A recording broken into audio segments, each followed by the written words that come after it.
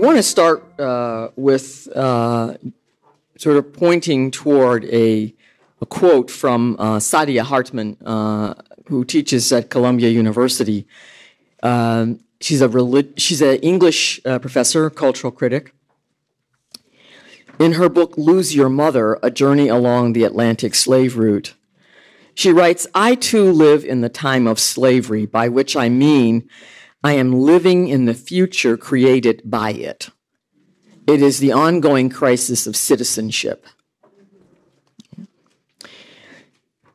In their path breaking and influential study, Racial Formation in the United States, Michael Omi and Howard Winant define race as, quote, a concept which signifies and symbolizes social conflicts and interests by referring to different types of human bodies.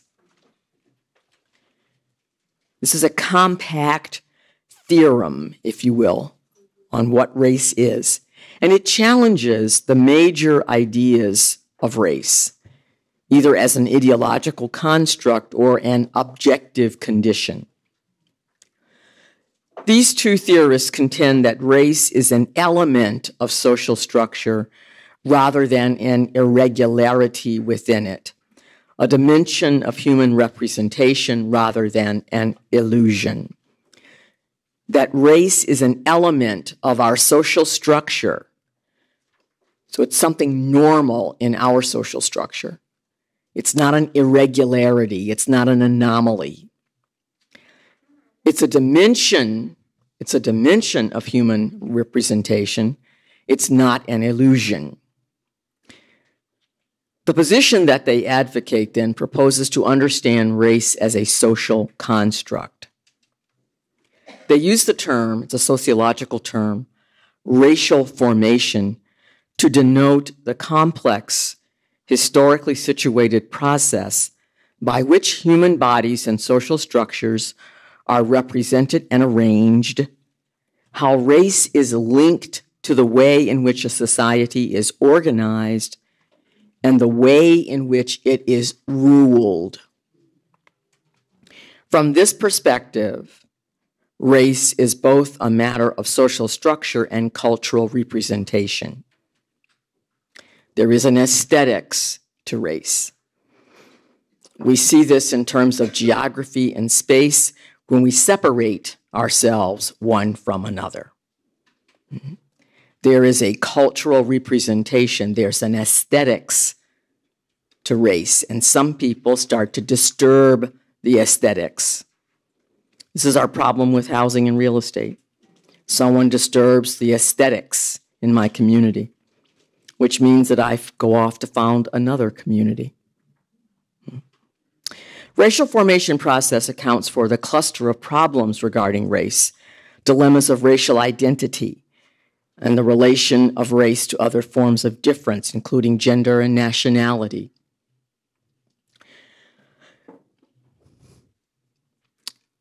The identity of homegrown black people, African Americans, the descendants of the enslaved people, is perhaps the most despised racial identity in the United States. It could be the most despised identity worldwide. We alienate other black people around the world from black people in the United States.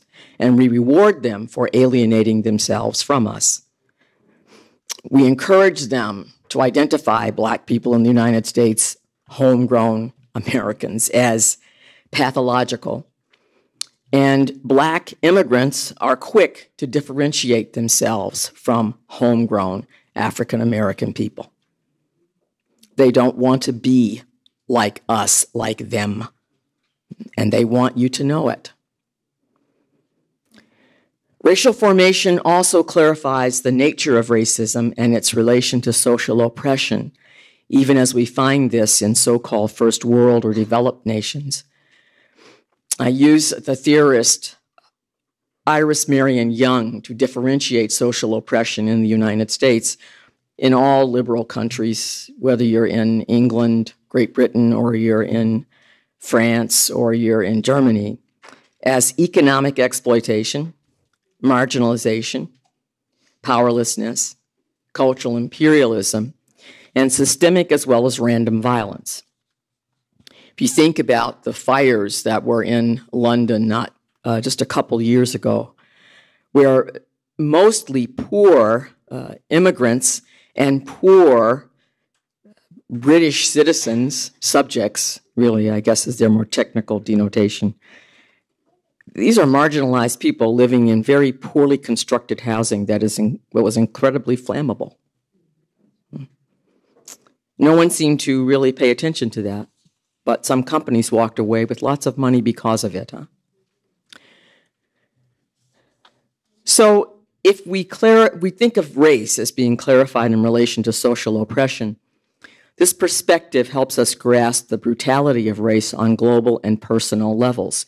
It also discredits the romanticization of race as essence and its misrepresentation as illusion, as if there is something so romantic and beautiful and wonderful and mysterious about being black. Hmm. Or as if race is just an illusion. Racial formation process maintains that race is not a deviation. I'm repeating this. It's not a deviation within a given social structure, but a constant feature embedded within it. To explain race as an ideological construct or the result of biased thinking is to render race an illusion. But our theorists, Omi and Winant, argue very cogently that our societies are, quote, so thoroughly racialized that to be without racial identity is to be in danger of having no identity. To be raceless is akin to being genderless. Indeed, when one cannot identify another's race, a micro sociological crisis of interpretation results. Who are you? I had a student many years ago in our Pulse program at Boston College. And this student had a Sri Lankan parent and a parent from Colombia. Beautiful young woman. And someone asked her, What are you? Hmm? What are you? We can't identify. And when we can't identify, we have a micro sociological crisis. How should I relate to you? Hmm. So if you're black and from the islands, I have an entirely different way of relating if you're black and hmm. there's a there, there's a way in which we've made race the predominant factor certainly in it has a global resonance but we've made it a predominant factor We've made it really the structuring process here in the United States. When white immigrants arrive here, and when they've been doing it since the 19th century, the first thing we teach them is that they're no longer Polish or Italian or Irish, they're white.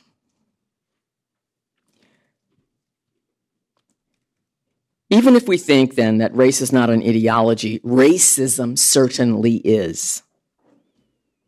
Because racial formation process gives critical attention to social structures and social signification, it can account for racism as ideology. If I say racism is the pro- product of biased thinking, an ideology that willfully justifies willfully justifies, advances, and maintains the systemic domination of certain race or races by another. Racism goes beyond prejudice, feeling, or opinion formed without concrete evidence or experience or knowledge. It goes beyond bigotry, doctrinaire, intolerance. It joins those feelings or attitudes to the putative exercise of legitimate power in a society. In this way, racism never relies on the choices or actions of a few individuals it is institutionalized. It's part of our social structure. We racialized subjects sustain and transmit racism as an ideology through our uncritical acceptance of standards, symbols, habits, assumptions, reactions and practices rooted in racial differentiation and racially assigned privilege. So black people don't play hockey. Hmm? Hmm? And white men can't jump. Hmm?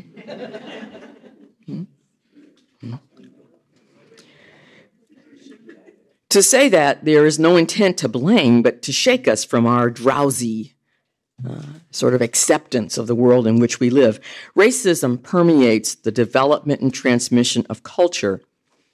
You know this, including education and access to it, literary and artistic expression, various forms of communication, representation, and leisure. Hmm, black people don't swim. the participation and contribution to the common good. Racism affects all this. It affects opportunities to work, to engage in meaningful political and economic activity. It disrupts human flourishing, including intellectual, psychological, sexual, and spiritual growth. It interrupts religion, membership, and leadership catechesis and spirituality, ritual and doctrine and theology. Racism permeates every sphere of social, interpersonal, structural relations. Too often we reduce racism to individual acts of malice or individual hatred committed by bad or rogue individuals. So consider uh, we'll go through some of those in just a minute. But when we do this, when we think of it's just those bad people, it's not me. When we do this, we obscure the larger and deeper dynamics of the ways in which race and racism form us as individuals, as a national community, as churches, as synagogues, as mosques. Racism never relies on the choices or actions of a few white individuals to repeat, it's structured or institutionalized. It goes well beyond our individual prejudices. It ties those attitudes to feelings of superiority and to so called legitimately and commonly sanctioned exercises of power. As an ideology, racism envelops the normal and ordinary social setup and it spawns a negatively charged context in which flesh and blood human beings live out their daily lives and struggle to constitute themselves as persons. Racism is no mere problem to be solved, but a way of life, a way that we define reality. And racial formation alerts us to the fact that racism is not something out there to solve or to fix. It's in our consciousness. It shapes our discourse, our practices. So consider the lives of Black and Latinx women and men are at risk during even simple encounters with police officers. Indeed, dozens of our fellow citizens have died either directly or at the hands of police or under suspicious circumstances while in police custody or during police tactical responses. Such behavior must be condemned and denounced, just as random and often fatal attacks against police officers are equally heinous and must be denounced and condemned. Consider the rate of incarceration in the United States. Has anyone here seen the documentary 13th? It's a very important documentary to see. It's a very important documentary to see, very difficult to watch, but very important to grapple with. It deals really with the 13th Amendment. We cannot enslave people except for crime. Since 2008, the rate of incarceration in the United States has increased to the rate of 716 prisoners per 100,000 persons in the population. And although the United States, and you probably know this, represents a roughly 5% of the world's population, it represents almost 25% of the world's incarcerated population. The United States incarcerates black men at a rate higher than South Africa did during the time of apartheid. Consider that we continue to live with the mocking, overheated, vicious rhetoric that lingers from campaigns. We've even begun to normalize that rhetoric, continuing to polarize our interpersonal, familial, civic, even ecclesial relationships. Moreover, in the name of knee jerk patriotism, some of us have deepened our divisions by taking it upon ourselves to physically, even fatally assault others whose views, dress, ethnicity, race, culture, or social standing differs from our own. Consider that we falsely accuse, malign, even defame as dangerous as threats children, women, and men who are Muslims, who are immigrants, Jews, Sikhs, those who are incarcerated and economically impoverished. Recall the image of hundreds of young people, nearly all young white men, marching in the streets of Charlottesville, Virginia, spewing anti Semitic, anti immigrant, racist rhetoric. The Jews will not replace us, they said. Recall that a young white man fatally shot nine black Christian women and men as they prayed and studied the Bible in a church in Charleston, South Carolina. Recall that after shouting ethnic slurs at two immigrant East Asian Indian men in a restaurant in Olathe, Kansas, a white man killed one of them wounded the other, and fatally shot the young white man who came to their defense.